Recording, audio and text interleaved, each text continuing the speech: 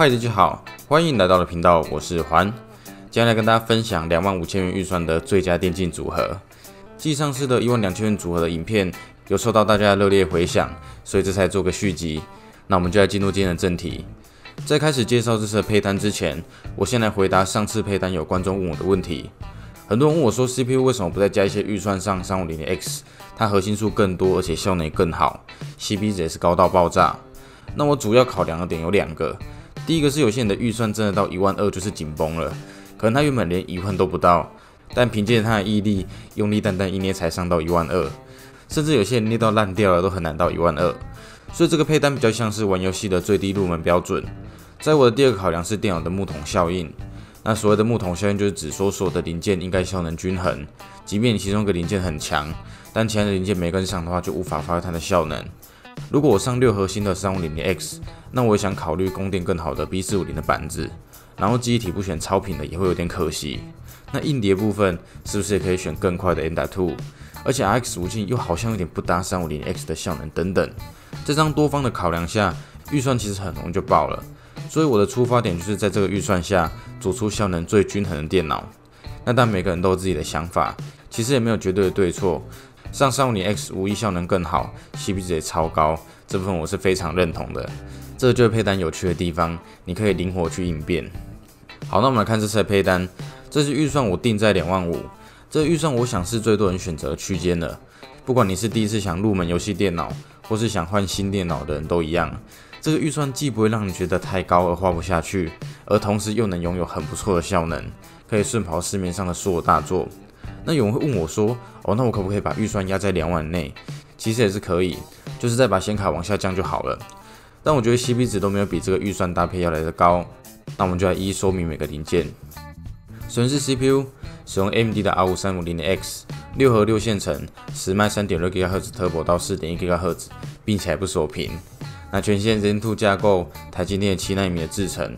而且由于三五零 X 相比三六零零少掉超线程，让它价格压在四千元内有找，真是香到一个爆炸哦！看你要煎炒卤拌烤都很适合，毫无悬念成为最高 CP 值的中阶 CPU。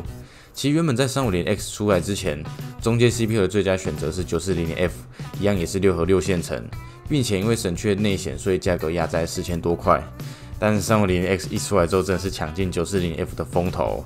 毕竟你一样的核心数，而且价格更低，而且还可以超频。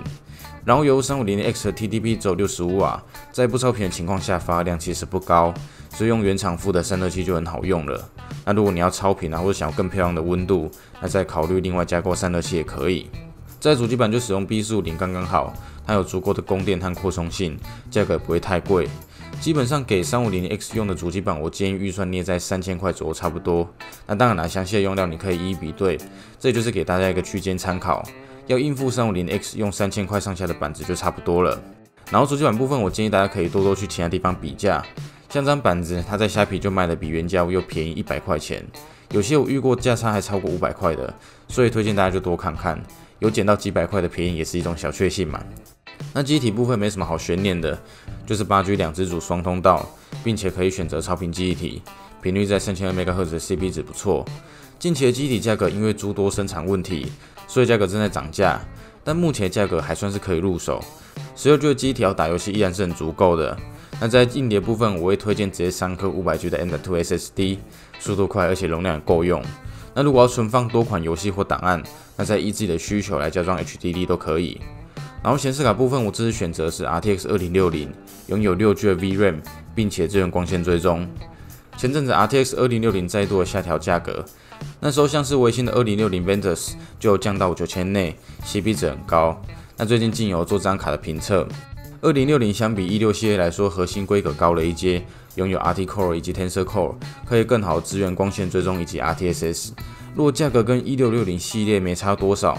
那直上二零六零会是很好的选择，不过这个期货做到一半的时候，它就已经回涨了，元交还有新亚等等的通路都回到接近一万元的价格。那我猜有可能是因为最近大陆疫情的关系，板卡的生产线受到影响，导致台湾这里的供货暂时中断，所以影响到它的价格，真是被摆了一道。那基本上以两动六动的效能来说，已经可以在硬半片解析度下畅玩几乎所有的游戏，要玩到爽都不是问题。所以如果想要开高画质游玩游戏，并且的预算也足够，那跳过一六系列上到二零六零会更好。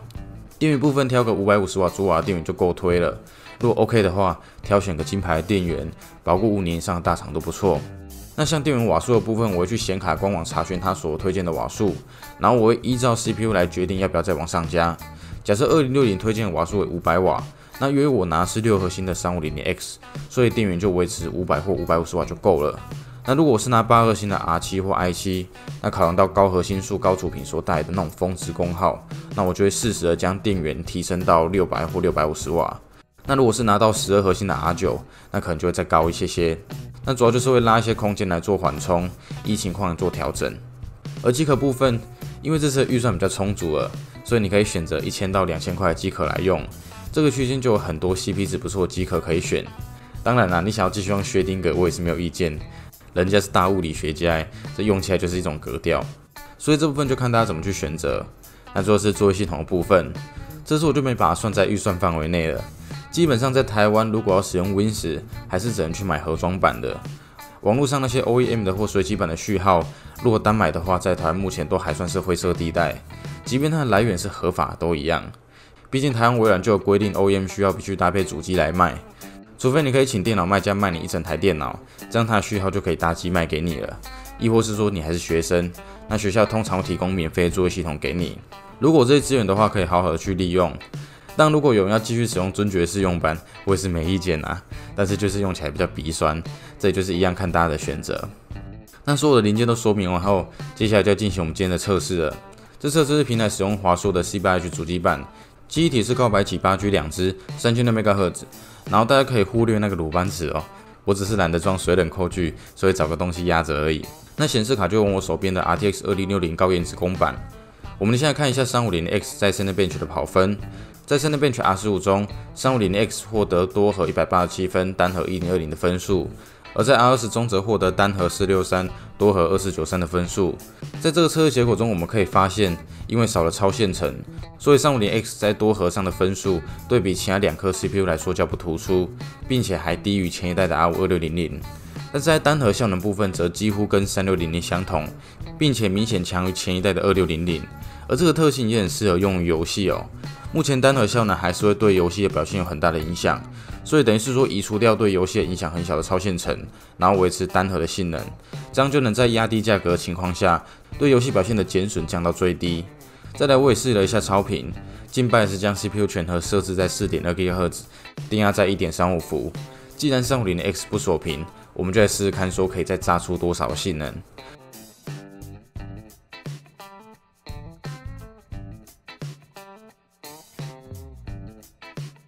那车结果超频后，三五零 X 在 Cinebench 跑分中均有所上升，R 十五中多核成长一百多分，单核性能成长近五 percent，R 二十中则是有十三 percent 的多核成长，等于是在单核性能上略强未超频的三六零零，而在多核部分则是跟二六零零不相上下。这次我也跑了一下 Time Spy，跑分结果总共得了七千一百零五分，显卡部分则是七千六百四十八分。不过我的目的不是要看这个分数，我是要去对比一下，说这样的设备跟其他的玩家相比，大概赢过多少人？那比较结果则是领先了六十五的测试者，这样看起来电脑不错的人还是挺多的哦。用这样的配备还是输三十五的使用者。不过考量到会跑 3D Mark 的人，基本上他们的电脑配备不会太差，所以这样的结果就还算是可以接受啦。大概是中间偏上的零件规格。接着我们进行实测，首先是测到涅槃的 GTA 五。在硬掰片解析度下它要全开，帧率可以跑到一百帧以上，非常流畅。然后 CPU 及显卡都没有满载，说明这样的特效下对硬体的压力不高，所以要上调到 2K 游玩也不是问题。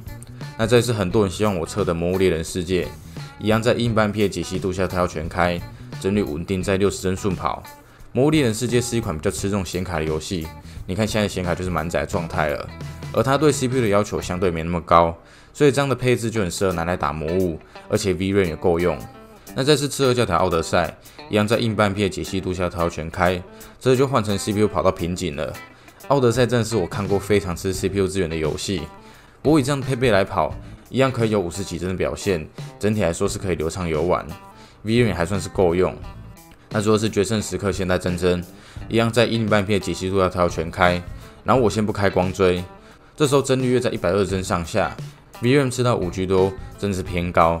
显卡跟 CPU 没有明显满载的状况，在开光追之后帧率轻微下降，不过还是有一百多帧出头，VRAM 吃到快满。不过我觉得这款游戏对 VRAM 的要求还是太高哦。之前用二零六零 Super 测它的 VRAM 会吃到七 G，希望原厂之后可以对这块进行优化。不过整体测试下来，以这样的配备要应付各种大作是没有问题的，跟喝水一样简单。总结来说，今天这个组合可以满足硬半 P 下大部分游戏高画质顺跑，而且在价格上还是能控制在两万五这个级距内。如果你是想组一台玩游戏的电脑，希望可以高画质顺跑游戏，而且同时希望价格不要太高，那这样的配置就是不错的选择。其实今天做这个计划有点尴尬哦，因为最近大陆疫情的关系，连带影响到了台湾的零件供货，所以在接下来的一个月，假如大陆那里还是没有如期复工，那各大通路就会开始出现缺货现象了。应该说现在部分零件已经开始在缺了，所以如果最近很急需电脑的，趁目前还有零件的时候赶快组。那如果没那么急的话，可以等到过阵子零件价格回稳之后再组。那今天分享到这里，有什么问题快在下方留言告诉我。我是环，我们下次见，拜拜。